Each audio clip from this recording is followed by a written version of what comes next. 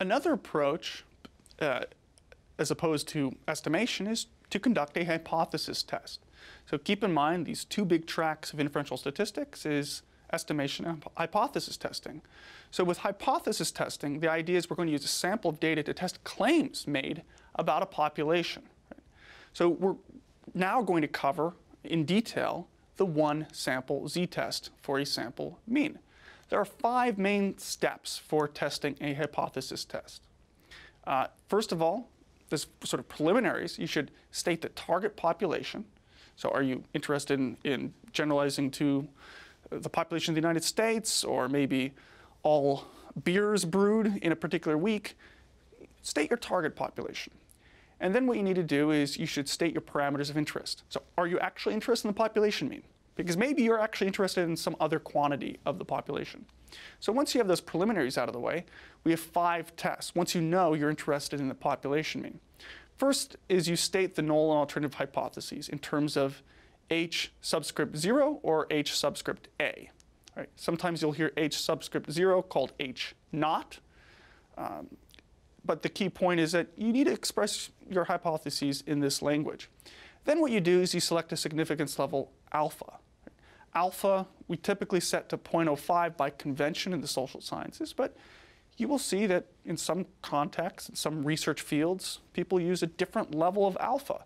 And that just reflects a different um, perspective on how willing people are to, uh, to make a type 1 error. In some fields, they don't want to make a type 1 error uh, very frequently, so they set alpha to a lower level, alpha to 0.01 uh, rather than 0.05. And then what you need to do is you need to compute the test statistic, which we call z. So that's the third step. And then what you do is you assume the null is true. So you say, well, I think, you know, I'm just going to assume the null hypothesis is true. And then you make a decision by either comparing the test statistic z with the critical value or values, or you compare the p-value with some significance level based on alpha. And then what you do is you state your conclusion. I also highly recommend, as sort of an additional step, to calculate a 95% confidence interval, or Z interval, to un better understand what's going on. So first of all, step one, state the hypotheses. So the null hypothesis, it's almost always an equality. So we use mu naught, mu subscript 0, as some claimed value for the population mean. Right? So if you think the population mean is 50, let's say, the null is going to be mu equals 50. So mu naught is 50. The alternative has three different variations. You can either have what we call a two-sided z-test, where the alternative is simply that the population mean is not equal to mu naught or mu subscript 0. It's just not equal to that claimed value. Or we might have a right-sided z-test, in which the alternative is that the population mean is greater than the claimed value. Or the a left-sided z-test, where the alternative is that the population mean is less than some claimed value. Most commonly, you will see a two-sided z-test, and we'll focus a little bit more on two-sided z-tests, but in some contexts, a right-sided or left-sided z-test is also used. Then what you do is you choose a significance level alpha.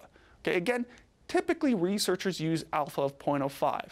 And this is the criterion for what we call statistical significance. Right? This is a, very important because our level of alpha, right, it's, it determines, in some sense, our conclusions. Right? We use alpha to compare with our p-values. We also use alpha to calculate the critical values on which we uh, base or evaluate our uh, test statistics. And we also use alpha to compute confidence intervals, right? because a confidence interval is 1 minus alpha times 100. So if alpha is 0.05, uh, it's 0.95 times 100 is a 95% confidence interval. So choosing alpha will affect our decision whether we reject the null or not.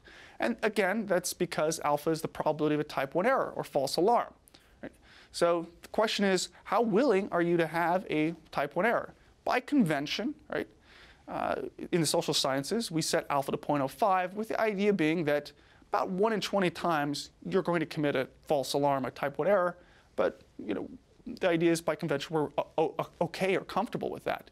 In other contexts or other fields, alpha is going to be at a lower level.